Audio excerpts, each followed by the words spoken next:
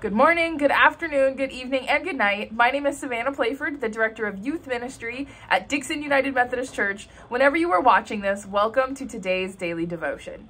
The weather has been kind of up and down the last few days, right? We've had rain, windy days, random days where it gets kind of warm, but regardless, we are in the midst of spring. This is all normal for spring weather. Don't you kind of love it? The bees are out, the flowers are blooming, and allergies are in full swing. Am I right? Well, every spring I get this urge to become a gardener. At first, I was not a good gardener and I killed almost every plant that I touched. Now, I've kind of got the hang of things and I love gardening so much, and my skills have improved. My skills have improved so much so that my mom noticed my skills and asked if I could help her with her yard and her garden this year. Of course, I jumped on the opportunity to help her and also show off my skills a little bit. The problem is my skills are not as good as I had originally thought because I accidentally killed her grass in her yard.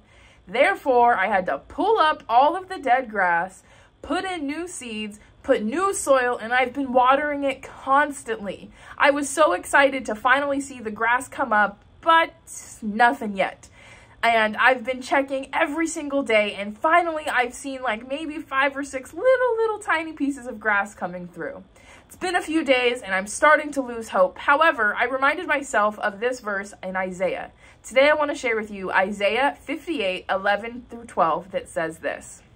The Lord will guide you continually and will provide for you, even in the parched places. He will rescue your bones. You will be like a watered garden like a spring of water that won't run dry. They will rebuild ancient ruins on your account. The foundation of generations will past you will restore. You will be called mender of broken walls, restorer of livable streets. In these verses, it shows five different things that God can do for us. One, it says that he will guide us continually. The road of life may be uncertain, dark, bumpy, whatever it may be, God is with us. And number two, God will satisfy our soul through a drought. We as Californians know everything there is to know about a drought. I've lived in California my entire life, and we have always been in a drought for as long as I've been here.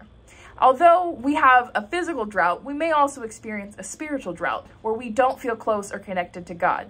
You know, kind of like a mountain. Sometimes we're at the very top of the mountain and very connected to God, and others you're in the valley or in the desert where there could be a drought from your spiritual relationship.